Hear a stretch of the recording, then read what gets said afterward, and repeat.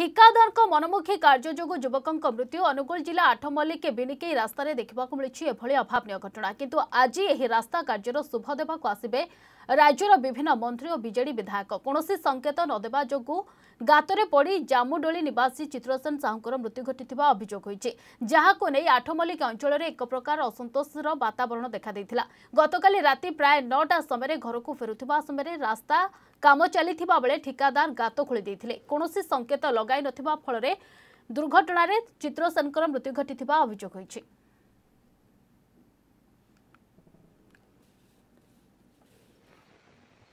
ମୁଁ ଏଠି କାଲି ସନ୍ଧ୍ୟା ସାତଟା ପର୍ଯ୍ୟନ୍ତ ଥିଲି সাতটা বেড়ে লা বেড়ে মু দেখলা বেড়ে এটি রাস্তায় চারটা বেড়ে কিছু ইয়ে নথিলা মাটি ফাটি নাই খালি প্লেন লা গাত খোলা হয়েছিল কন্ট্রাক্টর মানে এটা সেদার করে দিয়ে লোক চালিয়ে আউ কেতবেলে সে পিলাটি দুর্ঘটনাগ্রস্ত হল এবং মৃত্যুমুখ সমস্ত কোন আটটা ভিতরে সড়ক মর্মত দুর্ঘটনা বলে কেবে কহা যাই পারিবনি মারি দিয়া গলা বলে কহা যাব নিশ্চিত ভাবরে কাইকি কালি সেই জায়গায় হি দুই জনকর এক্সিডেন্ট হয়েছি রাতে গোটে বেড়ে আউ জনকর এক্সিডেন্ট হয়েছি তার গোড় ভাঙি যাই অনুগুল আজ রেফর হয়েছি দুই দিন পূর্ব আউ গোটে এক্সিডেন্ট হয়েছিল বাহালি পাখে କୌଣସି ଜାଗାରେ ସେ ବାଇପାସ୍ ଯେଉଁ କରାଯାଇଛି କୌଣସି ସିମ୍ବଲ୍ ନାହିଁ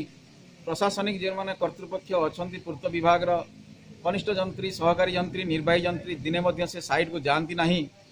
ମୁଁ ମଧ୍ୟ ଜିଲ୍ଲା ପରିଷଦ ହିସାବରେ ଜାଣିପାରେ ନାହିଁ ଶାସକ ଦଳର ଯେ ଏଇଟା କେଉଁ ବିଭାଗରୁ କାମ ହେଉଛି କିଏ ଯେ ତା ଠିକାଦାର ୟାର ଅଟକଳ କେତେ କାହିଁକି କୌଣସି ଜାଗାରେ ସୂଚନା ଫଳକ ମଧ୍ୟ ଲାଗି ନାହିଁ କାର୍ଯ୍ୟ ଆରମ୍ଭ କେବେ କାର୍ଯ୍ୟର ଶେଷ କେତେ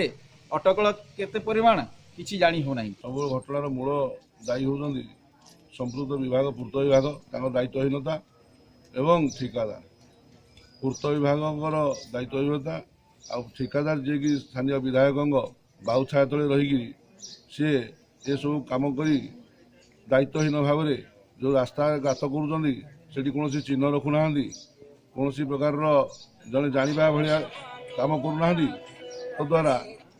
ଧନଜୀବନ ଗୋଟେ ନୁହେଁ ଅନେକ ଧନଜୀବନ ହାନି ଘଟୁଛି ତେଣୁ ଆଜି ଆମର ପ୍ରଥମ ଦାବି ହେଉଛି ଯେ ମୃତକଙ୍କ ପରିବାରକୁ ତିରିଶ ଲକ୍ଷ ଟଙ୍କା ଅନୁଦାନ କ୍ଷତିପୂରଣ ଦିଆଯାଉ କାରଣ ଏହା ଏକ